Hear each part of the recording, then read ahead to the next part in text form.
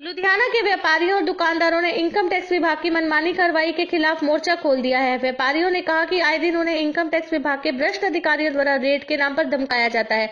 मगर अब दुकानदार और व्यापारी इसका विरोध करेंगे और मंगलवार को ऋषि नगर स्थित आयकर विभाग के दफ्तर को घेराव भी किया जाएगा। एक कल कपड़ा की मार्केट नहीं है।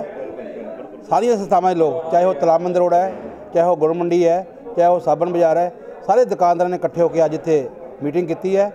ਕਿਉਂਕਿ ਜਿਹੜੇ ਇਹਨਾਂ ਨੇ 11 12 ਪਰਚੇ ਪਾਏ ਨੇ, ਵਪਾਰੀਆਂ ਦੇ ਉੱਪਰ ਬਹੁਤ ਹੀ ਨਜਾਇਜ਼ ਕੰਮ ਕੀਤਾ, ਕਿਉਂਕਿ ਕੋਈ 2 ਨੰਬਰ ਦਾ ਕੰਮ ਜਾਂ ਕੋਈ ਫੀਮ ਜਾਂ ਕੋਈ ਇੱਦਾਂ ਦਾ ਸਮਾਨ ਤਾਂ ਵੇਚਦੇ ਨਹੀਂ ਦੁਕਾਨਦਾਰ ਦੁਕਾਨਦਾਰ ਮਿਹਨਤ ਕਰਦੇ ਆ, ਕੰਮ ਕਰਦੇ ਨੇ। ਜਿਹੜੇ ਅਫਸਰ ਲੋਕ ਨੇ, ਇਹਨਾਂ ਦਾ ਭ੍ਰਿਸ਼ਟਾਚਾਰ ਬਹੁਤ ਫੈਲਿਆ ਹੋਇਆ। ਜੇ ਇਹਨਾਂ ਦੇ ਆਪਾਂ ਇਹਨਾਂ ਨੂੰ ਚੈੱਕ ਕੀਤਾ ਜਾਵੇ ਤਾਂ ਕਰੋੜਾਂ ਰੁਪਏ ਰੁਪਏ ਨਿਕਲ ਜਾਏਗਾ ਇਹਨਾਂ ਅਫਸਰਾਂ ਕੋਲੋਂ। ਇਹ ਰੁਪਇਆ ਕਿੱਥੋਂ ਆਉਂਦਾ ਇਹਨਾਂ ਕੋਲੋਂ? ਇਹ ਸਾਰੇ ਵਪਾਰੀ ਨੂੰ ਤੰਗ ਕਰਕੇ ਪੈਸੇ ਲਿਆ ਜਾਂਦਾ।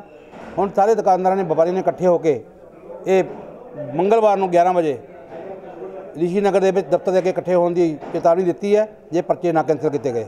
ਅਸੀਂ ਉਹਨਾਂ ਲਈ ਵਪਾਰ ਬਚਾਓ ਮੋਰਚਾ ਵੱਲੋਂ ਇੱਕ ਬਹੁਤ ਵੱਡੀ ਟੀਮ ਬਣਾਈ ਹੈ ਜਿਹੜਾ ਕਿ ਹਰ ਅਫਸਰ ਨੂੰ ਚੈੱਕ ਕਰੇਗਾ ਵੀ ਇਹਦੇ ਘਰ ਕਿੰਨੇ ਬੱਚੇ ਨੇ ਇਹ ਬੱਚੇ ਕਿੱਥੇ ਪੜ੍ਹਦੇ ਨੇ ਇਹਨਾਂ ਦੇ ਉੱਪਰ ਕਿੰਨਾ ਖਰਚਾ ਵਾ ਕਿੰਨੀਆਂ ਗੱਡੀਆਂ ਨੇ ਇਹਨਾਂ ਦੇ ਪਰਸਨਲ ਖਰਚੇ ਕਿੰਨੇ ਕੀਤੇ ਜਾਂਦੇ ਨੇ ਤੇ ਇਹਨਾਂ ਦੀ ਤਨਖਾਹ ਕਿੰਨੀ ਹੈ।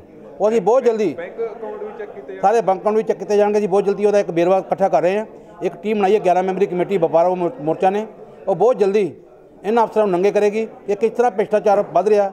ਕਿਸ ਤਰ੍ਹਾਂ ਲੋਕ ਜਿਹੜੇ ਅੱਜ ਕੱਲ੍ਹ ਦੇ ਬੱਚੇ ਨੇ, ਉਹ ਕੰਮ ਨਹੀਂ ਕਰਨਾ ਚਾਹੁੰਦੇ ਇੱਥੇ ਹਿੰਦੁਸਤਾਨ ਦੇ ਵਿੱਚ? ਬਾਹਰ ਜਾਣਾ ਚਾਹੁੰਦੇ ਨੇ, ਉਹਦਾ ਮੁੱਖ ਕਾਰਨ ਇਹ ਹੈ ਕਿ ਜਿਹੜੇ ਅਫਸਰ ਨੇ ਕੰਮ ਨਹੀਂ ਕਰਨ ਦਿੰਦੇ, ਭ੍ਰਿਸ਼ਟਾਚਾਰ ਬਹੁਤ ਜ਼ਿਆਦਾ ਫੈਲਿਆ ਹੋਇਆ ਹੈ।